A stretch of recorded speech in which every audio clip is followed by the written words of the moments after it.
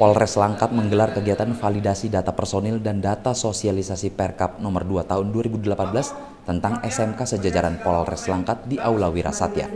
Kegiatan ini dipimpin oleh Kabak Sumda Kompol Ritonga yang didampingi langsung oleh Kasubag Pers Ibtu Marsam dan Ibtu R Pardede dengan para peserta dari para operator satuan, fungsi, bagian, dan polsek sejajaran.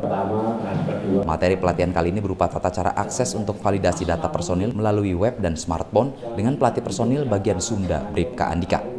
Pelatihan ini bertujuan untuk melatih ke verifikator di bawahnya sampai ke tingkat personil dalam melakukan validasi upload 512 KB file second asli. Hal ini dilakukan karena selama ini masih banyak kesalahan input antara TMT pertama, pengangkatan dengan tanggal, tanda tangan, dan petikan. Selain itu juga dilakukan pelatihan helpdesk untuk menampung keluhan-keluhan dari seluruh anggota Polri, namun disampaikan berjenjang melalui verifikator 1 hingga 4 dengan grup WhatsApp. Bertahapnya itu ya jalan terus Jangan sekolah itu kelas 2. Dari Sumatera Utara, tim liputan Tribrata TV, salam Tribrata.